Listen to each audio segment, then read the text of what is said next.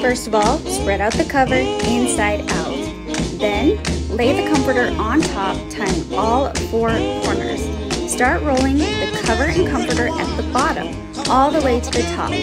Fold over the opening so the outside of the cover is now showing. While holding both the comforter and the cover on the open side, shake it like a Polaroid picture. Close at the end and shake once more to make sure it's evenly distributed and bam,